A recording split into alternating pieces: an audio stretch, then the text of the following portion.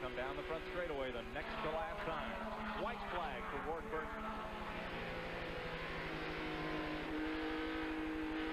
He just got to run a good clean lap here and don't get tied up behind the slow car. And he looks like he might have this thing wrapped up.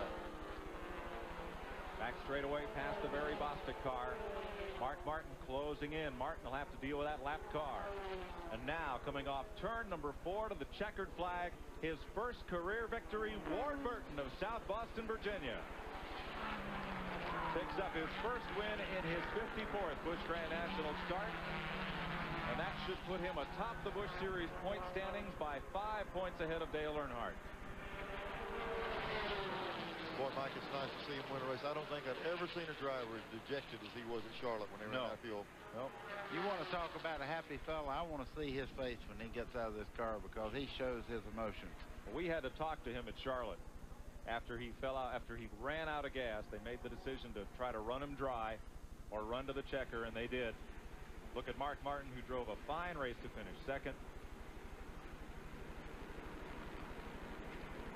But as Ward said that day, Ward Burton with a long jump on the field. White flag for the young driver from South Boston, Virginia. 33 years old in the MBNA Pontiac. Rusty Wallace in second. Earnhardt and Sterling Marlin got together in turn two. They're okay.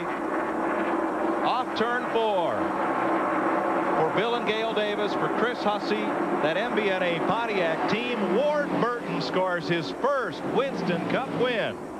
And out of turn four, Darrell Waltrip gets hard into the wall, and the rest of the field gets by. He made contact perhaps with Jeff Gordon.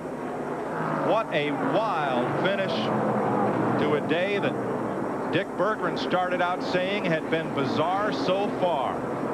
And it ended on the same note. Wow. DW looks like he's okay. He's moving around in the car. Oh, and Darrell had a great race going. He was up in the top six. Gordon comes around three laps down.